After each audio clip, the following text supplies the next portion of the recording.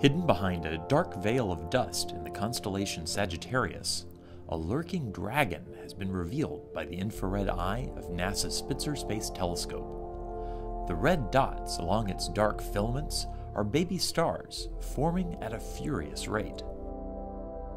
The dark dragon appears to fly away from M17, its brightly glowing neighbor known alternately as the Omega or Swan Nebula. Oddly, astronomers have found that both the dragon and the swan are forming roughly the same numbers of stars. If so, why should they look so different from one another? While the dragon is forming fairly large Type B stars, only in the Swan do we find the very largest O stars.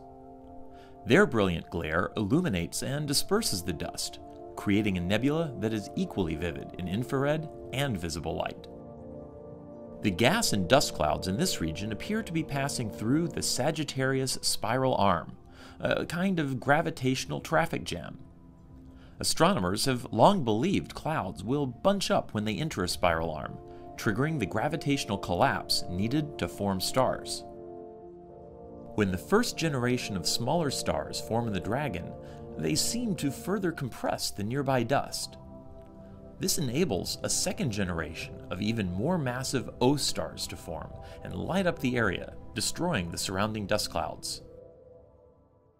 Further downstream from the Swan, a cluster of O stars sits at the center of a blown out bubble. This is likely the fading remains of an older nebula, now largely dispersed as it exits the other side of the spiral arm. In this one picture, Spitzer has captured a snapshot of the evolution of a star forming region. From dragon to swan to bubble, it heralds a new generation of Milky Way stars.